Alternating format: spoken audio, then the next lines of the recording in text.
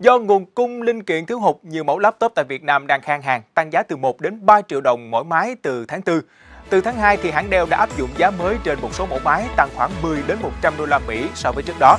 Máy tính của hãng HP cũng đã tăng giá với các sản phẩm dòng Pavilion chạy chip thế hệ mới. Đến tháng 4, nhiều hãng laptop khác cũng đã đưa ra bảng giá mới.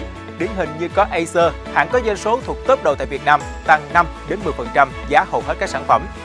Chiến tranh thương mại Mỹ-Trung, khủng hoảng chip bán dẫn toàn cầu và cơn sốt đau tiền ảo là những lý do chính dẫn đến laptop tại thị trường Việt Nam tăng giá.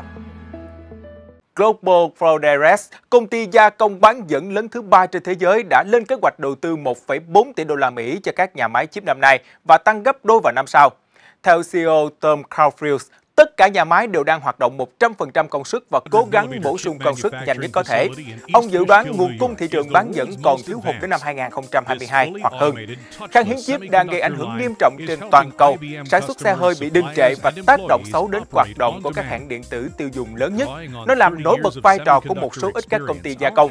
Những hãng như Global Foundries đang đổ tiền tấn công vào dây chuyền sản xuất mới và nâng cấp thiết bị nhằm bắt kịp nhu cầu gia tăng đột biến. Semiconductor